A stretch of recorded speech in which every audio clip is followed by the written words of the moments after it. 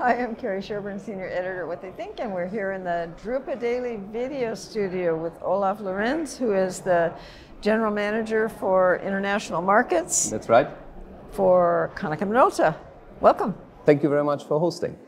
So, um, of course, first of all, just I'm sure everybody that's looking at this knows who Konica Minolta is, but just in case, let's do a brief overview of the company.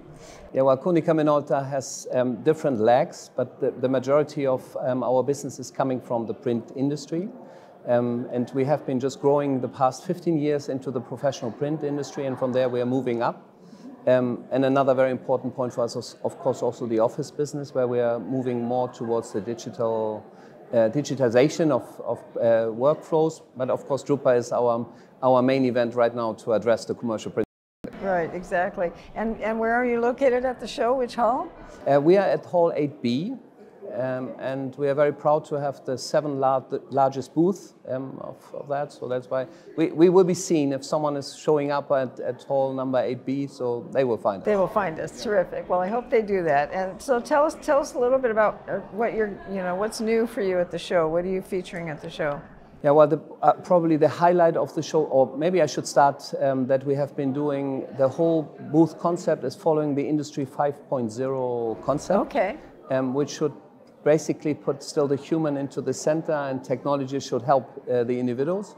And that's why we are trying to, to highlight how technology and how artificial intelligence can even help the, uh, the printing process and the printing workflows. And that's why, um, as we're moving also into the uh, high-end market more and more, um, one of our flagship products which we are introducing is the AccurioJet 60000, which is a B2 cut sheet uh, product that goes up to 6,000 sheets per minute. And is that inkjet or toner? That's inkjet. Okay. It's UV inkjet, um, and it supplement the existing KM-1e, which we have also. They they sitting next to each other, and um, that of course is is our part where we would like to demonstrate that we are showing a certain commitment to move further into into that area.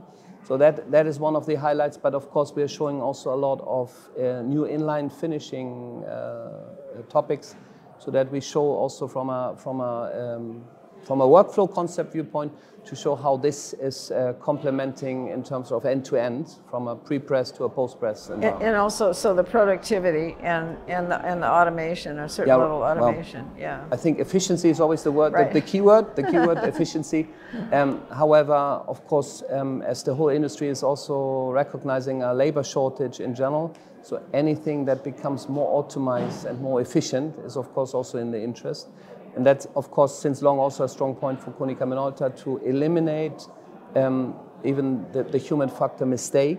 Yeah, we try to eliminate by, um, eliminate by uh, technology so that, that even less skilled people will also uh, seamlessly work with the equipment and again the whole workflow will be more seamless for them. Yeah, so the ease of use of onboarding people and the ability to reduce touches in the process so that right. it reduces well, the opportunity and you error. mentioned exactly two points which we keep keep saying so the ease of use is one of our uh, pillars which we always try to make sure that whenever we start with something so the ease of use is in the focus and less touch points yeah so and, and of course digital is a, is a great enabler for less touch points so these two are driving us. Driving us.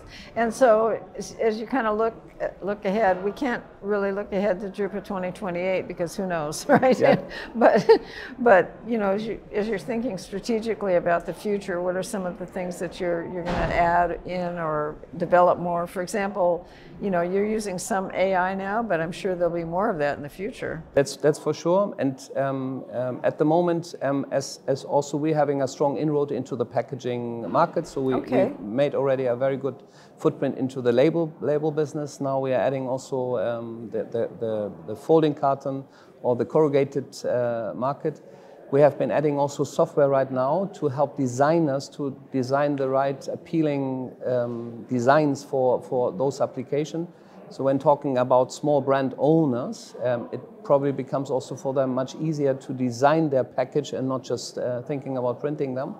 So if, if we think future on, of course, packaging will become a very important point for the entire industry because that's still the the tactile part of um, buying a product. Yeah, you can't get your Cheerios on the internet, right? no, right, right. So, and, and from that from that viewpoint, we try to help also during the design process with more capabilities, capabilities, and that's why software solutions around that will become a very important point.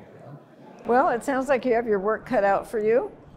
We, yeah, we, Yeah. It, it, yeah, we do. we do. And I hope that you have a successful show and that people head over to Hall 8B. Most definitely, they should they should head over to us to see us. That's right. Thank you. Thank you very much.